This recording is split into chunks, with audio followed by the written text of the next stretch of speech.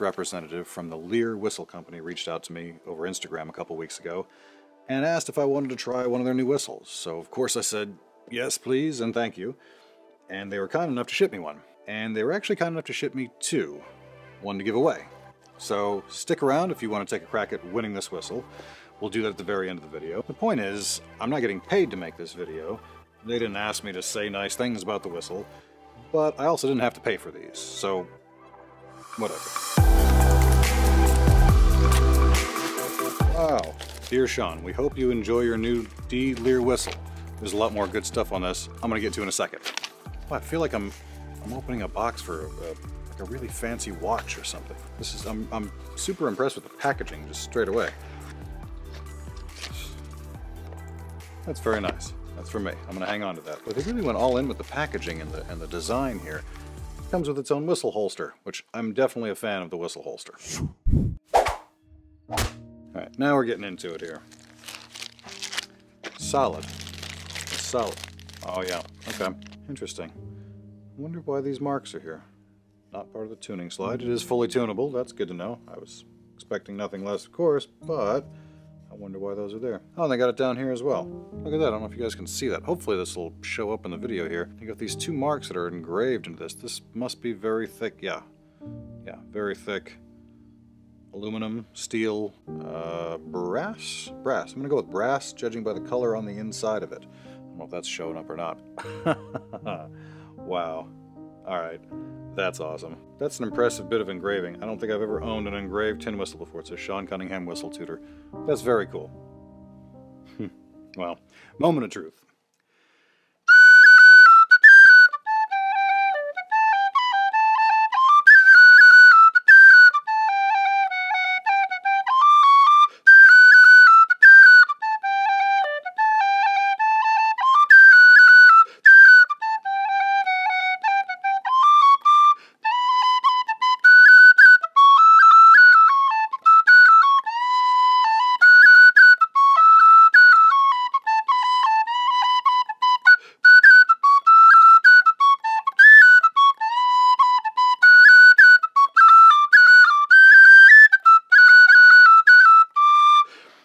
That's very nice. It's very reminiscent of, very reminiscent of a Copeland. And that's surprising because based on appearance, I was expecting it to sound a lot more like a Killarney or a Wild or ultimately a John Sindt because it is that similar design. It's got the heavier head joint. In this case, the, the body is a lot more dense, uh, again, than I was expecting. I want to do that octave jumping exercise that I talk about so often because it's a good test of, of how responsive a whistle is.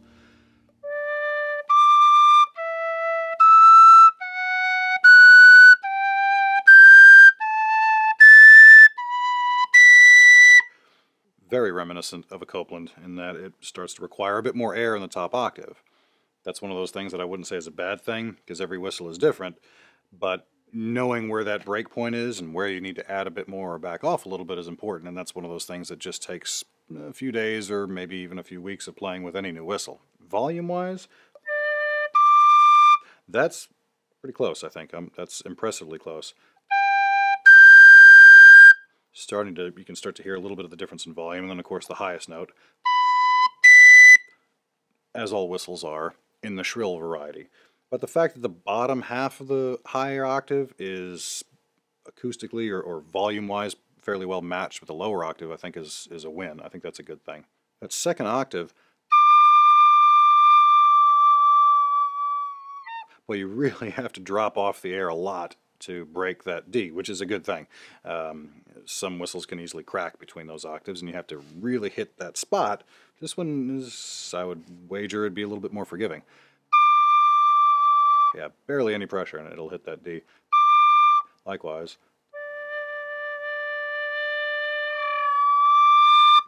Hmm, the lower octave requires less air than I would expect. Interesting. Let's check tuning using my, unfortunately, not very scientific tuner app.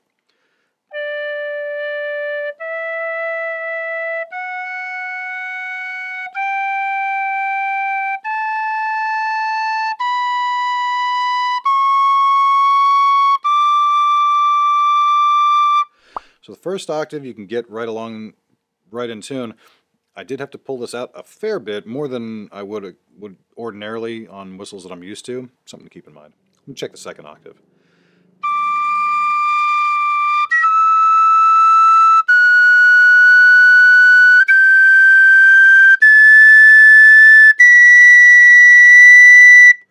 Yeah, again, it's it's in tune. Um, you do have to set it out a bit to get there, but that works. it definitely gets there and it works just fine. One thing I did notice is this joint, it's metal on metal, which always makes me a little bit nervous. That may be not an issue at all.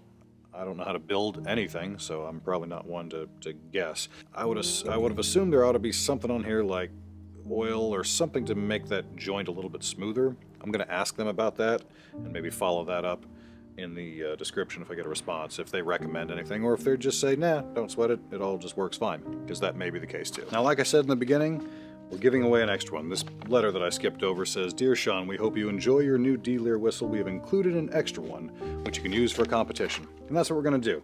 We're giving away this one. Where is it? We're giving away this one. there it is. Brand new in the box. And COVID and whatnot, I won't even take it out. That way you know I'm not drooling into it or anything like that. Brand new, hasn't been touched. So this one's going to you, and all you got to do is the usual three things. Give me subscribe, give me the thumbs up, give me the like down below, and leave a comment. I don't care what you put this time. Honestly, I've just run out of ideas for things to suggest. Maybe if you want to put in there like a tune you want me to learn or play or something like that, do me a solid and pick an Irish tune if you're going to do that, because that's the only thing I really know how to do and won't do you much good otherwise. Do all that stuff, and in two weeks' time, I'm to draw from one of the commenters, and we'll exchange information, and I will ship this out to you. The other thing they're doing here is they've included a 10% discount code, which, very cool, very nice of them, is Whistle Tutor. Hopefully that's easy to find. That makes this thing actually pretty affordable for a, a properly high-end instrument. They're 75 euro for the D-whistle. They've got other keys and stuff that are different prices, but 75 euro, which is, what, like 90 bucks US? Minus a 10%. I mean, it's, you know, for something that's a professional instrument, which is what I would call this, it's a pretty good price. Details are in the description below.